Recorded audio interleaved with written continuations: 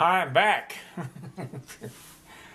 I don't sculpt very much because my eyes really trouble me some days, and this past week they really did. But the left, uh, the right eye, which was like looking through frosted glass, I couldn't see any detail at all, is starting to see detail.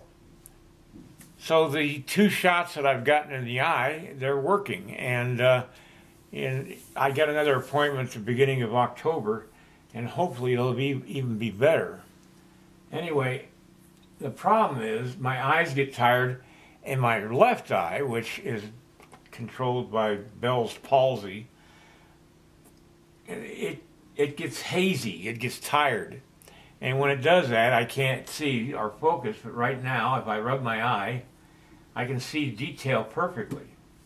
So my eyesight is improving, and uh, I don't know how long I'll work today because my eyes get tired, I can't work. So I'm going to I'm going to make a small armature for the heads of the horses and I'm going to make it separate from the horse because it's a lot easier than trying to get in between the horses and work on their heads.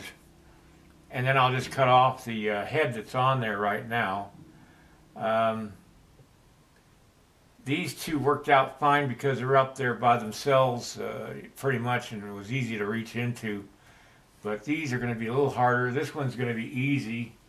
But I'm still going to work on it separate. And I'm going to make a little jig to work on. So I'm going to go ahead and do that right now, and then I'll be right back. I got a little modeler's uh, clamp, and I put some uh, silicone on the uh, jaws so that it would grab better. And I'm going to be using baling wire to make the head of the horse It's exactly what I used to make the heads in the first place. Oh man, it's hard to line up when you got one eye that doesn't want to work. Jesus. Ah, I wish I could explain to you guys how hard this is. But, I'm a trooper, what the hell. I'll get her done. As the cable guy used to say, oh, get her done, baby, get her done. Quit your friggin' complaining. Right now, keeping this in view is going to be hard, and I know it's going to be hard to see it because the background is really busy. And there's nothing I can really do about that. So,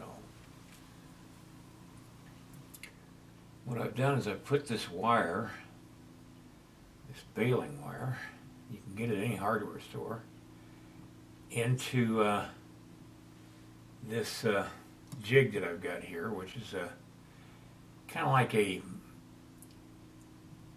fly tying type of vise. People who make uh, fish flies use it. I got it at a local fish fly or fishing store or sporting goods store and it works really well. I put uh, some silicone on each of the jaws just to give it a little more grip uh, when I got wire in there. I'm going to turn the head and work on this side real quick.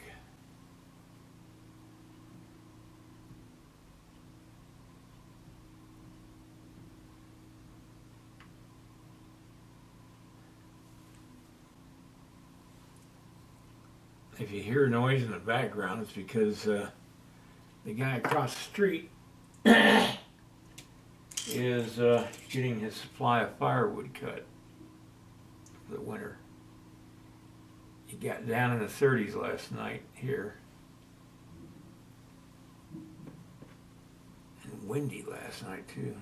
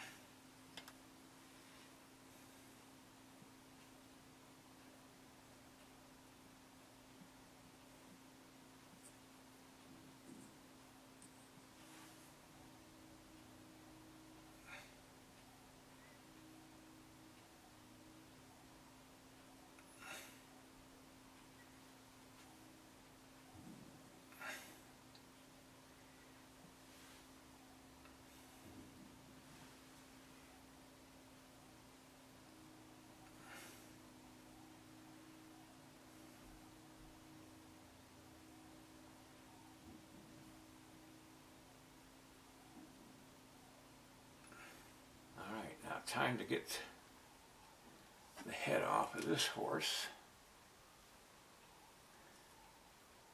I think what I'm going to do is reposition my clamp only because it makes it hard for me to reach in to work on the uh, horses.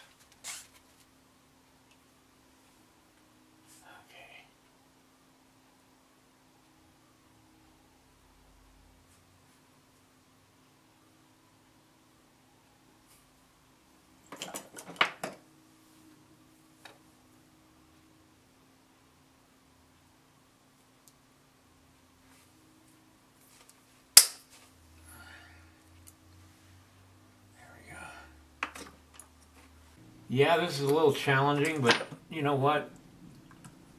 If you don't challenge your art and your abilities,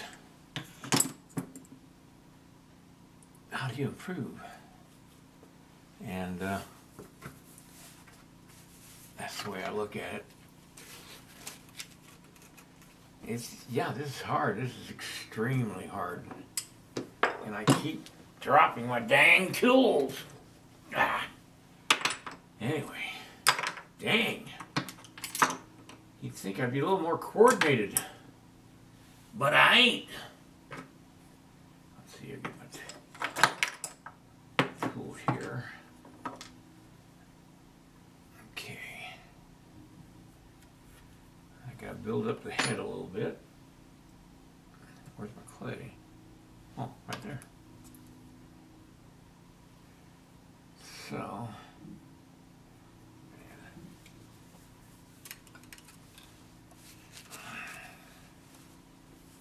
Okay, stop every once in a while just wipe your eyes. Be able to see again. There. Used to be I could go for hours and never have to take a break. Those days are long gone, I think.